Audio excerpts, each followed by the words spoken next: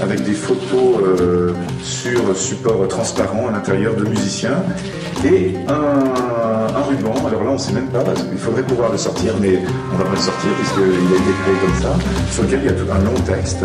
Je suppose que ça doit parler de musique. Voilà, en plus c'est sonore.